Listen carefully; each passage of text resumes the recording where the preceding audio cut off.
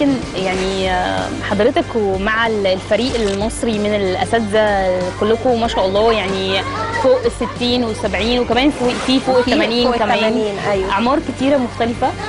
آه، قررتوا إن أنتوا لا الحياة ما بتقفش عند سن معين لأن الحياة بتقف لما أنا أقرر إنها توقفت. لكن طول ما أنا ربنا مديني العمر فأنا بستغل كل دقيقة.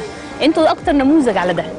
اولا آه، حضرتك أصلا رجعتي تاني للسباحة؟ انت كنتي بتلعبيها وانت صغيرة؟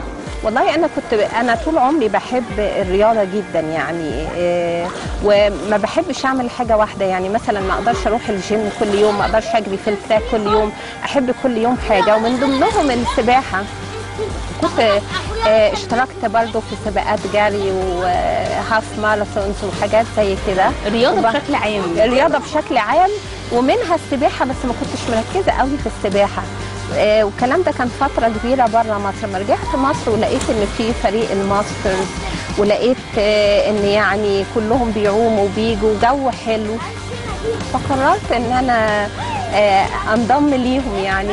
وبقالي معاهم فترة كبيرة يعني عدينا العشر سنين اهو إيه اللي اختلف بقى في يعني في حياة حضرتك وشكلها بشكل عام من بعد ما رجعتي تاني للسباحة عن ما كنتي آه، يعني سايباها يعني. هي طبعا السباحة رياضة جميلة وخصوصا بالنسبة للسن الكبير يعني مهما كنا عندنا fitness كويسة لكن بتلاقي ان برضو مثلا ممكن رجلك وجعاكي ركبتك وجعاكي أنا مش قادرة أجري النهاردة أنا آه، إيدي مش عارفة إيه مش قادرة أعمل weights آه، النهاردة.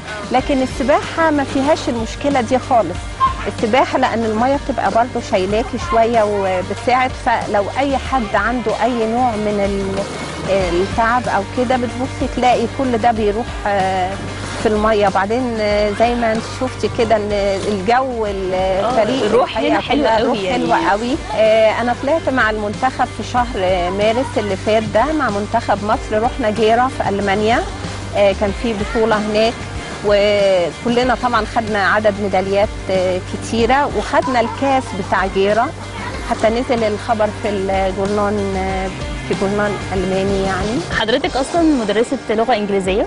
أنا أصلا مهندسة. مهندسة في الأساس. واشتغلت آه، يعني درست في جامعة بره وبعد عايشة فين أصلا؟ أنا عشت في الإمارات.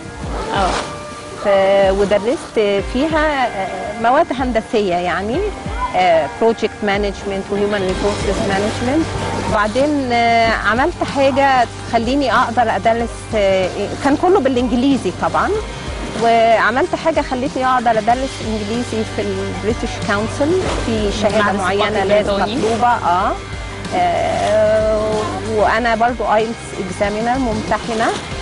فشغلي تقدري تقولي مواعيده آم، يعني بعد مريحة جدا. جوز حضرتك آه، يعني كان متقبل الفكرة وشايف إن انت إن دي حاجة هتفيدك أكتر يعني الحقيقة بيشجعني جدا بيشجعني جدا آه، إن أنا أروح وكده والبطولات.